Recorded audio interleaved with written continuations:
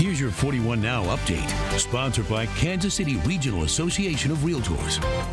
I'm Kevin Holmes with a look at your headlines from 41 Action News on Tuesday, July 2nd. Protests breaking out Tuesday over immigration.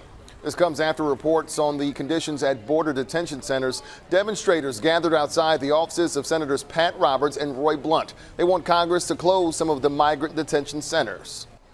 The U.S. women's soccer team scored a major victory Tuesday, beating England in the Women's World Cup semifinals. Hundreds of fans gathered in the Power and Light District to watch Team USA. There will be another watch party Sunday morning at 10 a.m.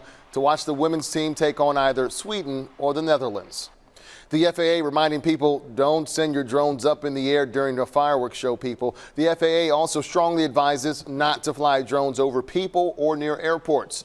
We don't want anyone getting hurt during the upcoming 4th of July holiday. Stick around. Gary Lezak has your forecast after this.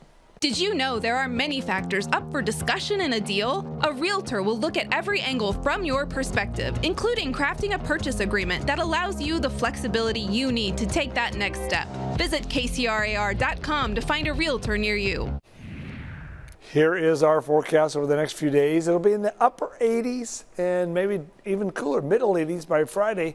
And the chance of showers and thunderstorms will be there with a little disturbance coming our way. So I think it's probably going to rain over the next three days a little bit around the area, but not everyone. So we'll just hope it doesn't land on some of these fireworks displays.